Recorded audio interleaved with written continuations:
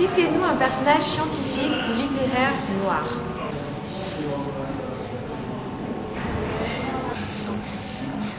Artistique, non, il n'y en a pas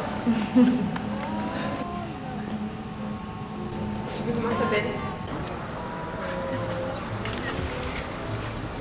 En fait, je ne me souviens pas. Non. Moi, je pense bien sûr à Aimé Césaire. Can't you see I'm no good without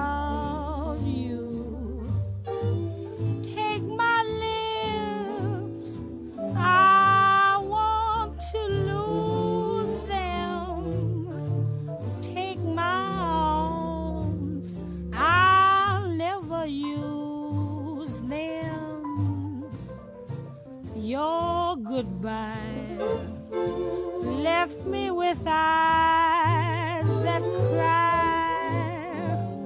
How can I